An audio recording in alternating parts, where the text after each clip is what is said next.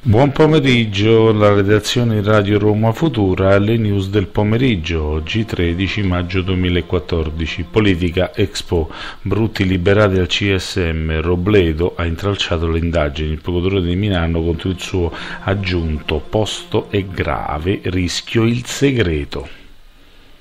Milano, Renzi rilancia dopo gli arresti, vinciamo la sfida di Expo per l'Italia, il Premier in città dopo l'inchiesta sulla nuova Tangentopoli, lo Stato è più forte dei ladri, invia Rovello la contestazione dei comitati per la casa, Marco Rettighieri al posto di Angelo Paris, il manager arrestato.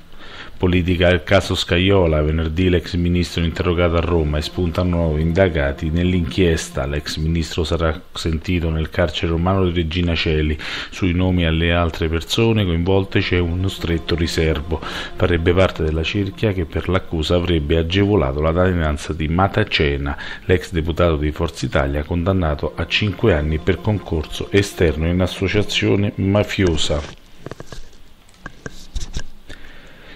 Immigrati UE l'Italia dica cosa vuole fare. A marzo non rispose. Alfano date indicazioni precise. Scontro sulla vicenda immigrazione tra Italia e UE.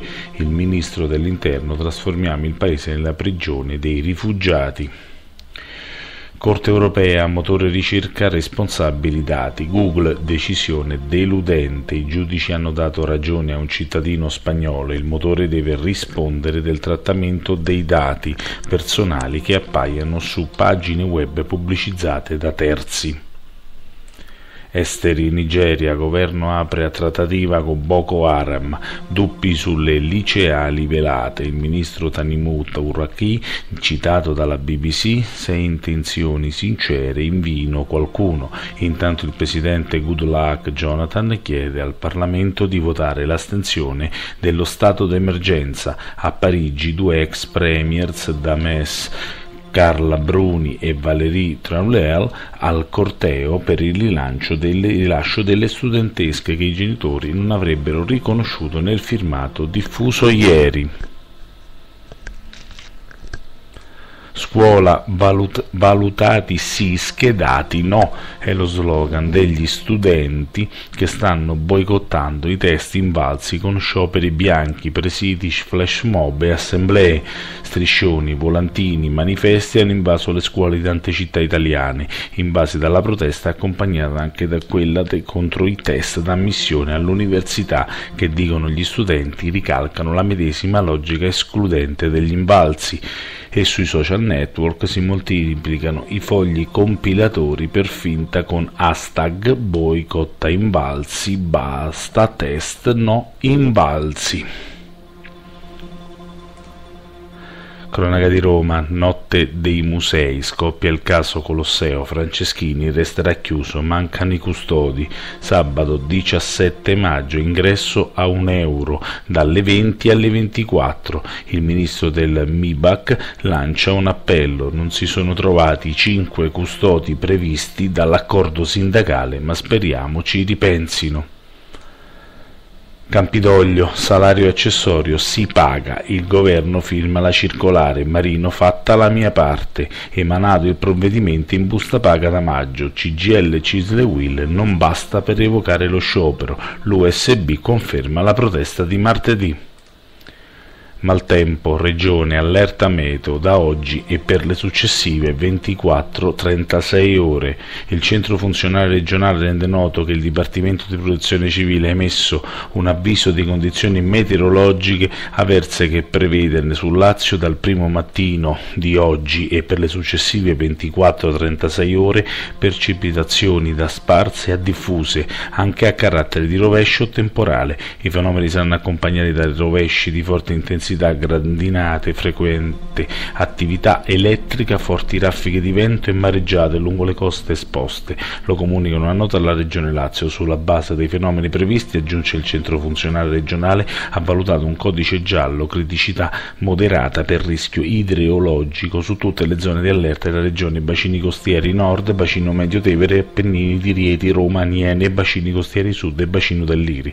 La sala operativa permanente della regione Lazio ha altresì emesso l'alternamento del sistema di protezione civile regionale, informato sulle strutture da adottare in tutti gli adempimenti di competenza. Si ricorda che per ogni emergenza è possibile fare riferimento alla sala operativa regionale numero 803 555. Parco Acquedotti, molesta minore arrestato ha fermato un ragazzo in bici all'interno del parco degli acquedotti. Gli si è avvicinato fingendo di chiedere un'informazione in lingua straniera, ma quando gli è stato vicino ha iniziato improvvisamente a toccare le parti intime. Il ragazzo, il ragazzo ancora minorenne non si è perso d'animo ed è fuggito lontano usando il suo cellulare per chiamare il 113. L'agente ha spiegato l'accaduto fornendo una precisa descrizione del posto dove si trovava e della persona che lo ha aggredito. Quando gli equipaggi, equipaggi della due volanti della polizia sono giunti in via Lemonia, hanno trovato il ragazzo agitato e scioccato per quello che era successo. Salone, blitz dei vigili urbani agli impianti BASF, blitz dei vigili urbani presso gli impianti della BAF a Salone, il gruppo sicurezza pubblica emergenziale diretto da Antonio Di Maggio è al lavoro per i controlli sul livello di inquinamento dell'industria chimica tedesca, l'inceneritore di rifiuti speciali catalizzatori industriali esausti dell'azienda da tempo al centro di sospetti da parte della popolazione nella zona di Sette Camini Case Rosse, che in numerosi esposti in passato ha denunciato una concentrazione concentrazione di diossina nell'aria fuori dalla media.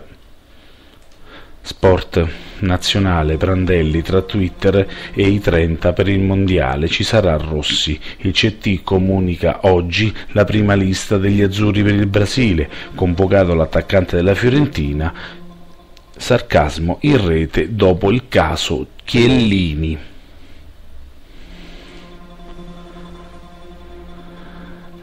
Lazio, la festa dei 60.000 e il ritorno di Nesta. Mai dire mai. La Lazio emoziona con Maestrelli e Chinaglia, festa per lo scudetto del 74. I laziali riempiono l'Olimpico.